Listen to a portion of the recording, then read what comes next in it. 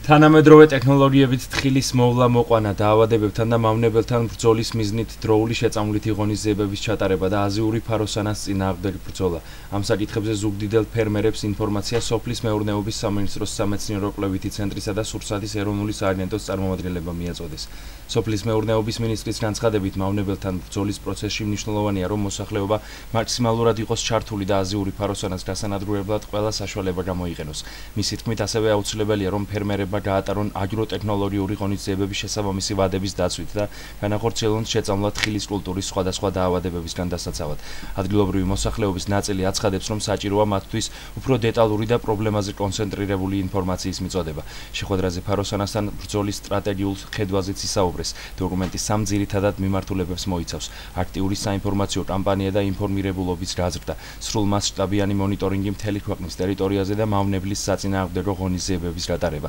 აზიური ფაროსანას შესახებ მოსახლეობის ინფორმირების მიზნით ასევე დაწყებულია მედია კამპანია ერთად ვებრძოლოთ აზიურ ფაროსანას, რომელსაც ჟურნალისტიკის რესურს ცენტრი პარტნიორ მედია საშუალებებთან ერთად ახორციელებს.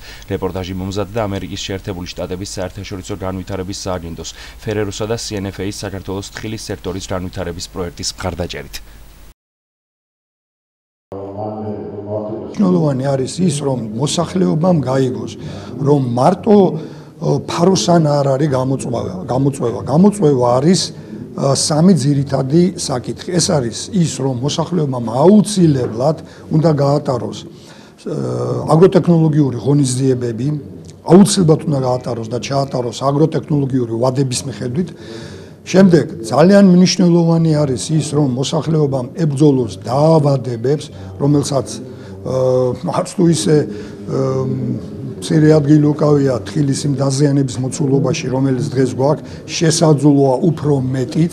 ამიტომ მოსახლეობამ უნდა იცოდეს რომ მეორე დიდი გამოწვევა ეს არის დაავადებებთან ბრძოლა და მესამე უმნიშვნელოვანეს მიმართულება ეს არის მავნებლები რომლებიც აზიანებენ თხილის კულტურას. მათ შორის რა თქმა უნდა არის ფაროსანაც და აი ჩვენი დღევანდელი აქ ჩამოსვლის მიზანი გახლავთ ის რომ ჩვენო მოსახლეობა მიწოდეს.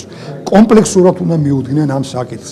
მათ თავისი გასაკეთებელი უნდა გააკეთონ და სახელმწიფომ რა თქმა უნდა თავის გასაკეთებელი. ჩვენ უბრალოდ ფიზიკურად ვერ შევძლებთ რომ ყველა ოჯახში შევიდეთ, ყველა ფერმერის სახლში შევიდეთ და ის გავაკეთოთ რაც მათი გასაკეთებელია. თუმცა ჩვენ ჩვენი გასაკეთებელი რაც არის, ჩვენ ამასაც აუცილებლად გავაკეთებთ. აი ეს არის დღევანდელი ჩვენი შეხვედრის თავარი მიზანი. ასეთი შეხვედრები აუცილებელია.